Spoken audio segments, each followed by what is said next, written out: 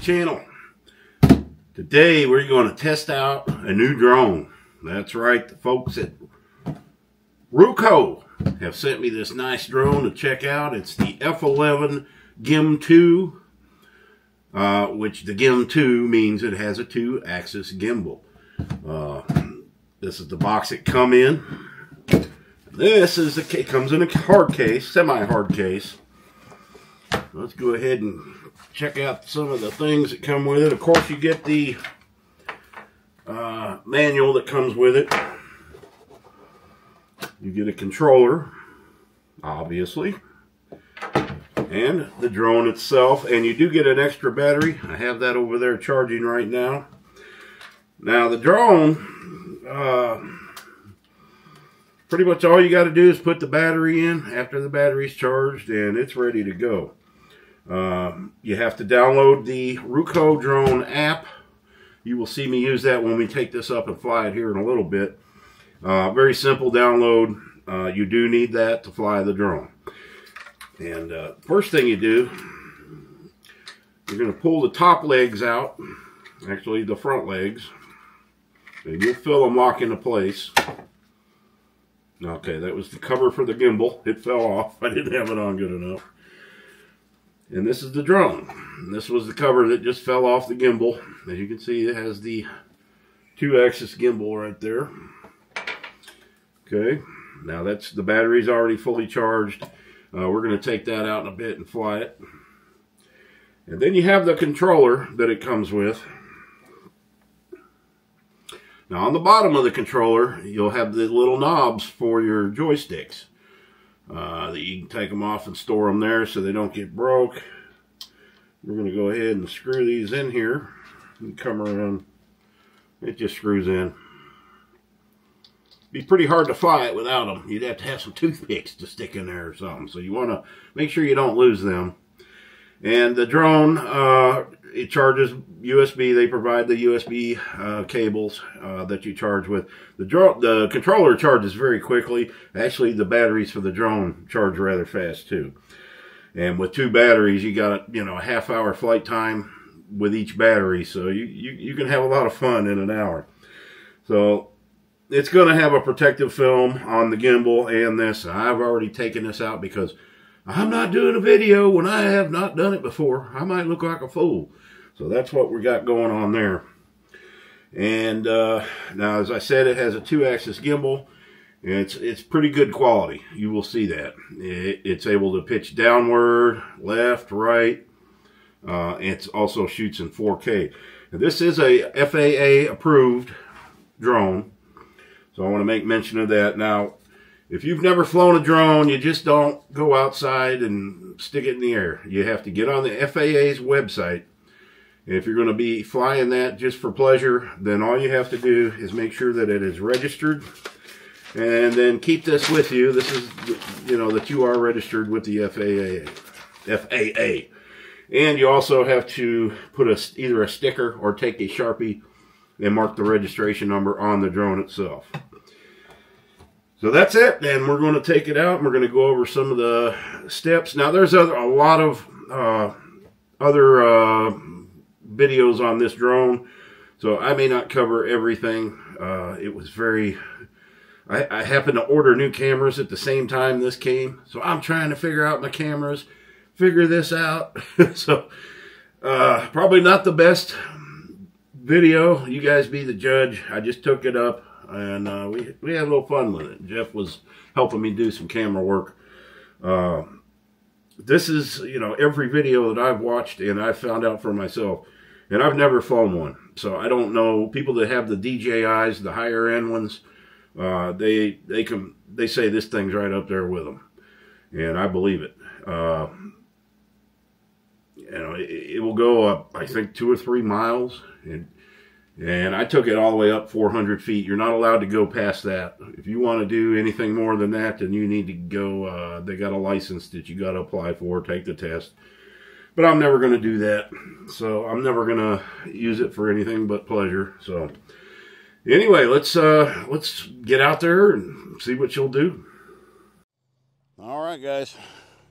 Let's get this thing in the air. Now, the first thing you do is you turn on the drone. It's going to make some music. And then I'm going to turn on the controller next. Let them connect. One short push. One long push. Now it's powering on.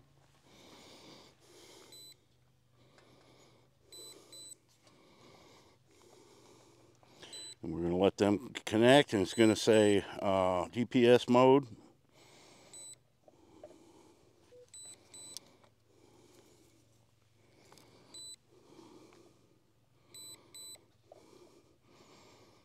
Now the phone doesn't even go, it doesn't go by your service provider uh, or even the internet. It just goes off the Wi-Fi signal. And that takes about 50 seconds to connect.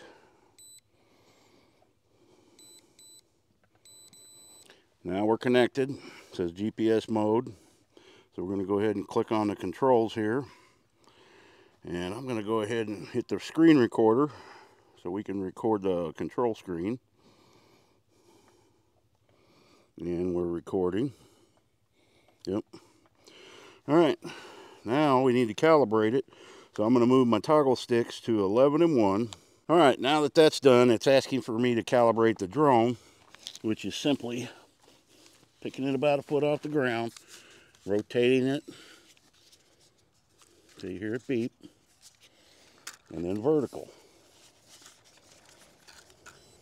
And it beeped I'm going to face this drone in the direction we're taking off. And uh, now the gimbal will uh, calibrate itself. And you see we're ready for takeoff. Everything's nice and level. And let me make sure that the screen recording is on. Yes, it is. And we're going to take off. Okay, now the gimbal is calibrating. And once that's done, we're going to fire it up by pushing this to five and seven. Well, calibration ain't done. Well, it's asking me to calibrate the drone again. Okay. You only got to do that if you got one hand. okay, now the gimbal. I think we're ready now. It's, it's done leveled. Okay. Here we go. Here we go.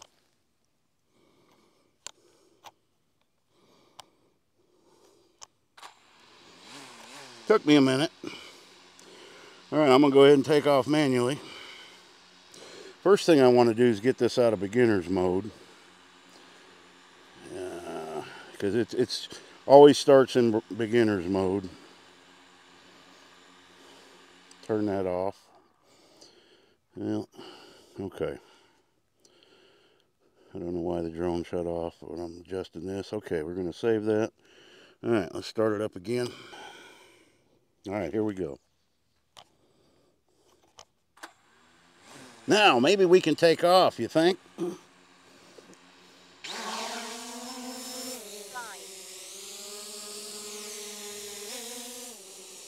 All right, let's bring it back down. I'm gonna show you some of the features. If you wanna go turn the drone, you use the left joystick. It'll go any way you pick it. Side to side on the right.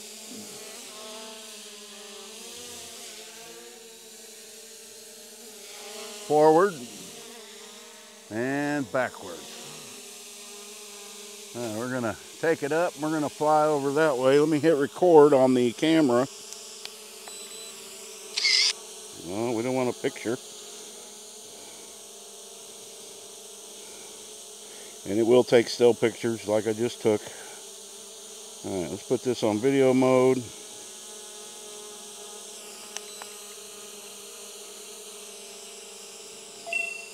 And we are recording. Let's take this dude up. I'm gonna drive it forward a little so I can see it without craning my neck.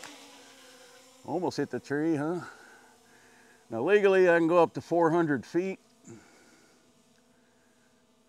And we are at about 400 feet uh, in meters is about 122 meters. So how about we leave it about right here and let's turn the drone towards the mountain.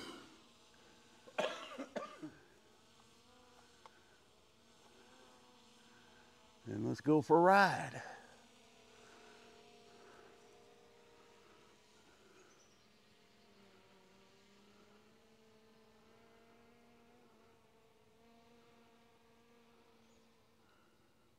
Let's turn it and go back that way.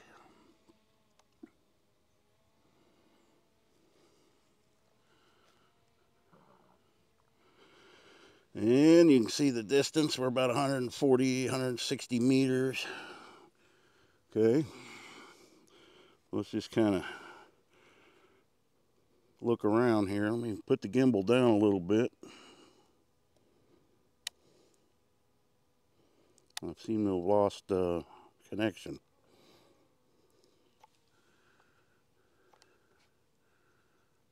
All right, let's try the return home feature right now.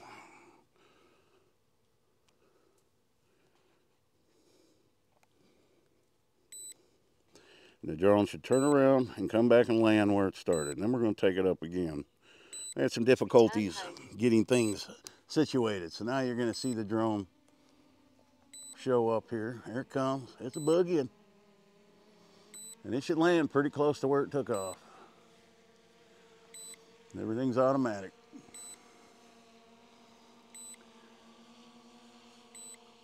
Now she's coming down.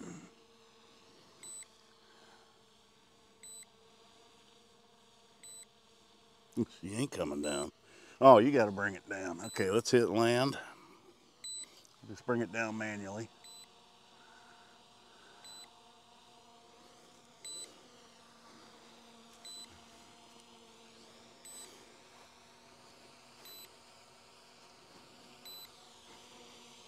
Let's, let's look around a little bit.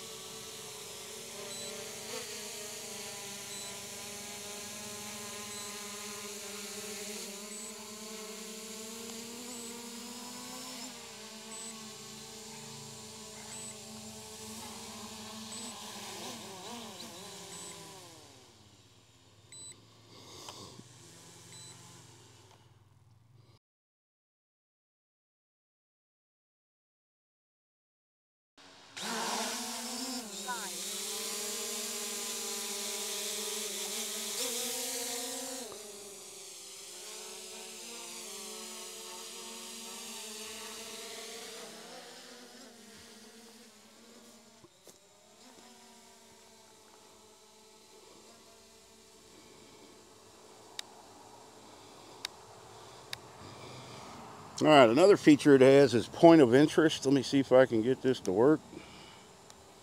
Open this up. And it does GPS follow. We'll do that in a second. Okay.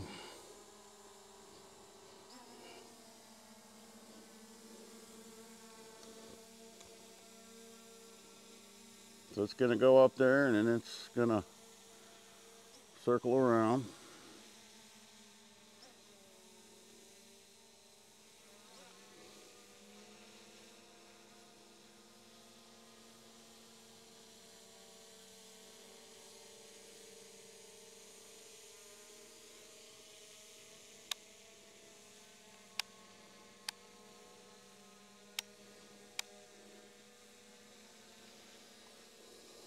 Okay. GPS follow, which is me. I have the controller, so wherever I go, I'm not going to go far because uh, I got trees. Take it up.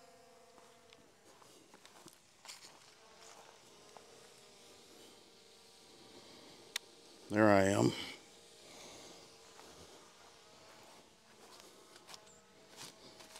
It's following me.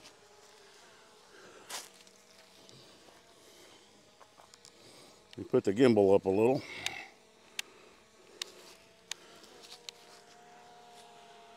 I'm well above any trees. Still following me. There I am.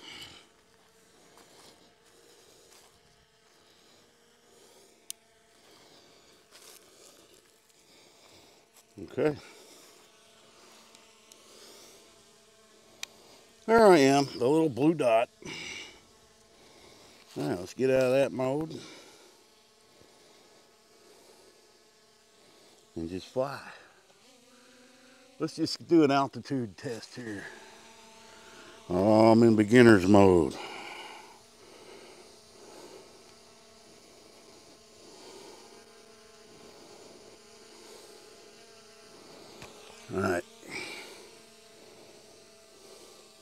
Now it's off of beginner's mode. Let's go up real high. Let's go up to about 300 feet. I need to get out of this.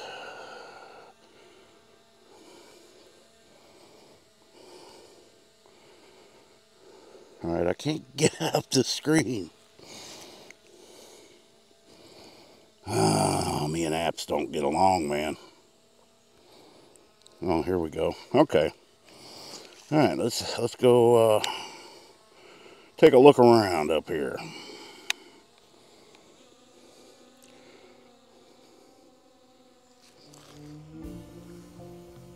Get up there where the hawks fly.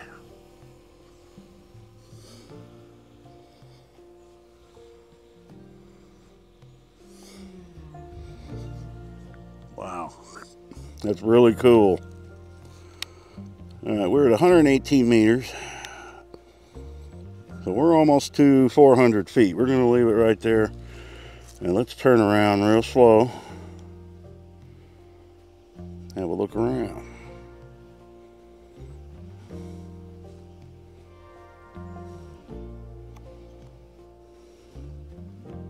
Oh, I'm still in GPS follow. No wonder. Okay.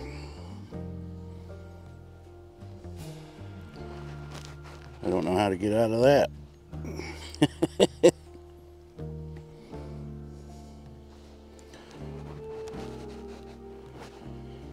well, there we go. Moving the gimbal.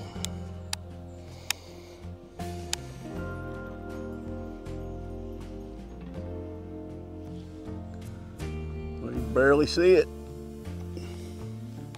But I can't get out of this GPS follow in this app, so until then I can't even turn the gimbal, but we're up there ways.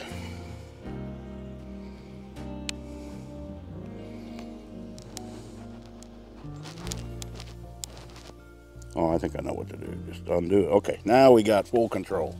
Now let's turn around. There we go. Let me do it slowly. Put the gimbal back up. Look at that view.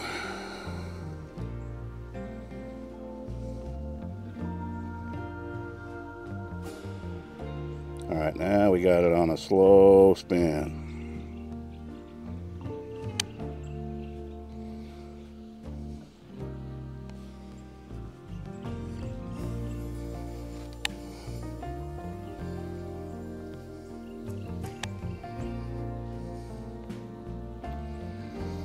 Just got to push these toggles real slow, make it smooth. Now this is another reason, guys, I think we're pretty safe from tornadoes. It's not impossible, but we're just surrounded by mountains. So, all right, let's bring her down.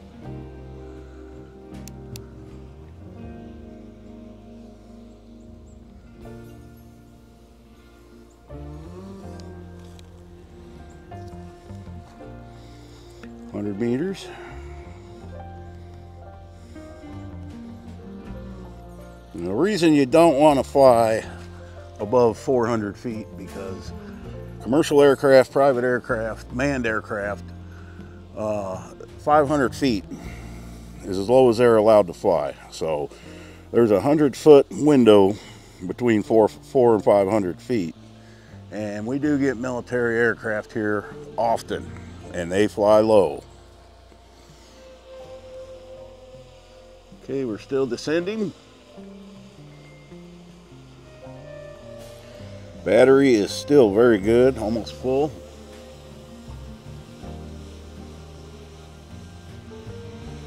Okay, I'm gonna drive it forward a little bit. Not up, forward, dude. Right here, we're gonna land her, bring her down low in between these trees. Wind's picking up, but it's flying pretty steady.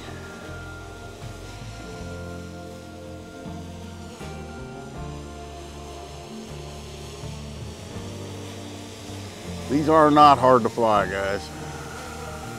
Just got to get used to it.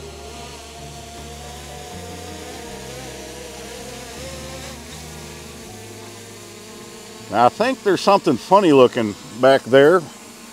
Let's turn and see. What's so funny looking back there?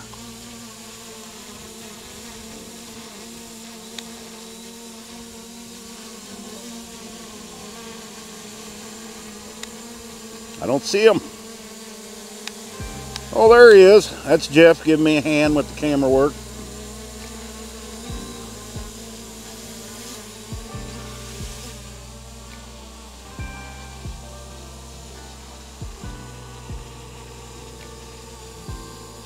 But if you want to see something really good looking,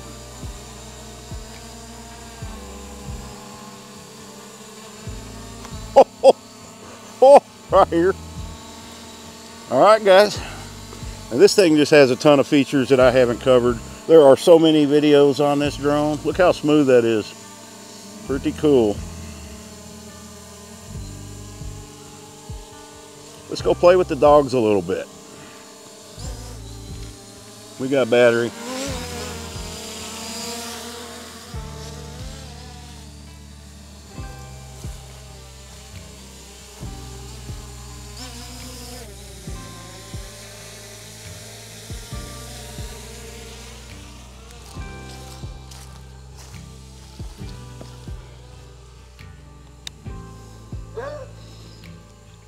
Boy at? There he is.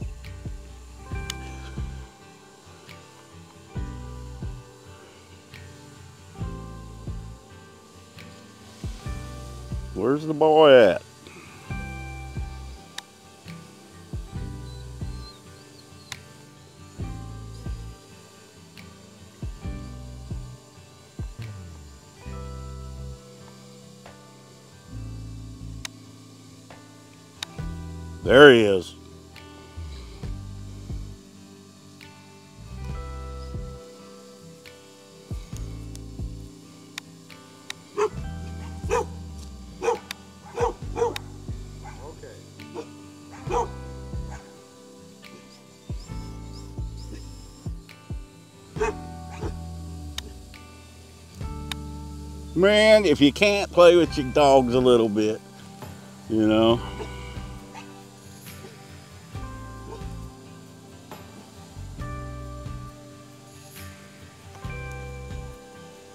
I'm the world's worst drone flyer.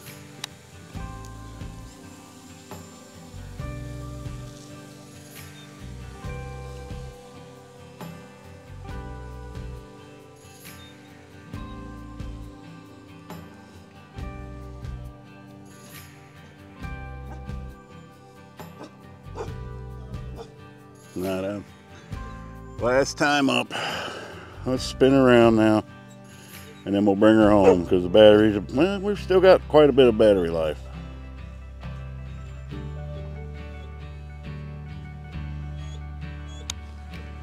Thought I saw a bird. Oh.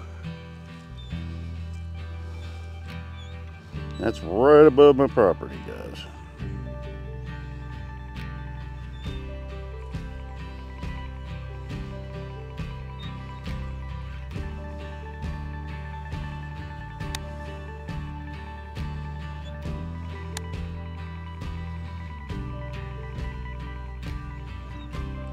beautiful day out.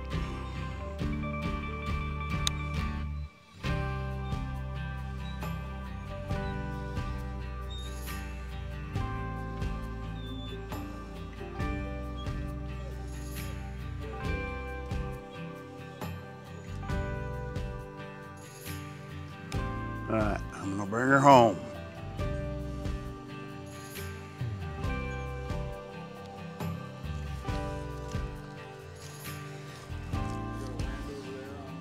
No, because I I'm, I got it manually right now.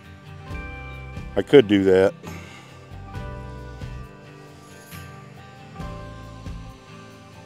In fact, we'll leave it there. I'll go ahead and hit bringing it home. Then it will. Return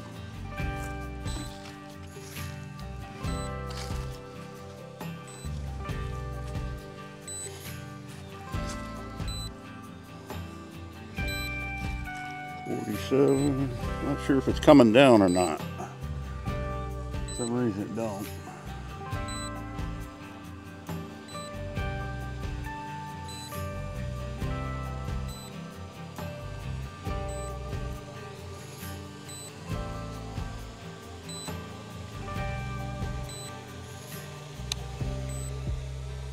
Well, that's pretty close.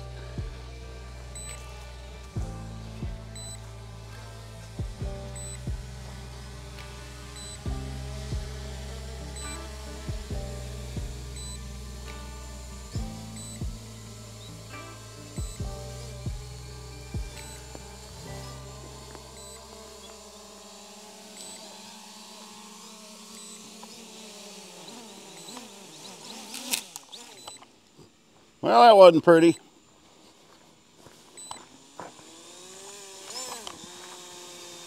Did I break it? There we go. I was pushing it the wrong way to shut it off. There you go, guys. Probably wasn't the best demonstration, but uh, this has not been an easy review. I'll put the link in the description if y'all are interested. Now, this drone is under $500 and it's right up there with DJI's. You watch all the reviews on them, and really nobody has nothing bad to say about it. So thanks for watching. Happy trails.